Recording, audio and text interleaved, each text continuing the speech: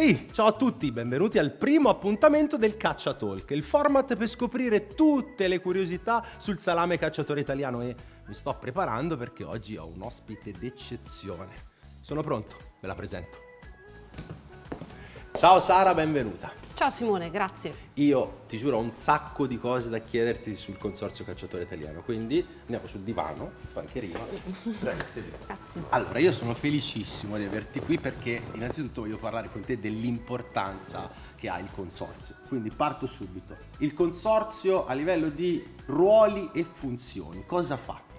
Il Consorzio Cacciatori Italiano è stato costituito nel 2003. Tra i compiti principali del Consorzio abbiamo la tutela, la valorizzazione e la promozione di questa DOP sia in Italia che all'estero e questo si concretizza da una parte realizzando attività che hanno proprio lo scopo di illustrare e spiegare quali sono le caratteristiche e le peculiarità di questa DOP e dall'altra ehm, lottiamo contro ad esempio la frode, la contraffazione per garantire il consumatore e renderlo sicuro eh, del fatto che sulla propria tavola porterà sempre l'originale. Il consorzio si occupa anche di seguire e tutelare le fasi di produzione per rispettarle? Esatto, il disciplinare è il documento che racchiude tutte le indicazioni che devono essere le norme, che devono essere seguite e rispettate per produrre questa DOP.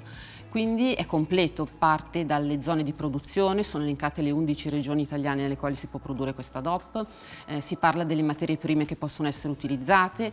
Tutte queste fasi della produzione eh, sono controllate da un organismo di controllo eh, approvato dal Ministero delle Politiche Agricole, Alimentari e Forestali che vigila proprio nelle aziende, nelle fasi di produzione e si accerta che vengano seguite tutte le norme.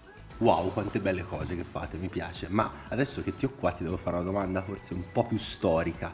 Mi spieghi qualcosa di più sul nome cacciatore? Rifacendoci all'epoca degli Etruschi, probabilmente era l'alimento che portavano i cacciatori nelle loro bisacce durante le battute di caccia, perché era piccolo, facile da trasportare, facile da consumare e soprattutto era già ricco eh, di proteine e sali minerali che potevano ridare le energie che venivano perse durante la battuta di caccia. E da qui probabilmente il loro nome. Geniale, cioè tascabile, nutriente. Era già moderno ai tempi antichi. Io non ti nascondo che con tutte queste curiosità sul salame cacciatore italiano e sul profumino che arriva da lì, io pensavo di offrirti un piccolo assaggino, un brindisino, così concludiamo in bellezza questa chiacchierata. Volentieri. Ci spostiamo di là, va bene? Ok. Prego Sara, prima Grazie. di fare il brindisi ti dico io un segreto. Quando mi suono il campanello, quando ho un ospite all'improvviso, non è che mi metto a cucinare, faccio degli abbinamenti, ok? Siamo in stagione primavera-estate, io ho preparato giusto due assaggini per te, vuoi provare? Assolutamente. Sì, Ok, che arrivi la degustazione. Eccolo.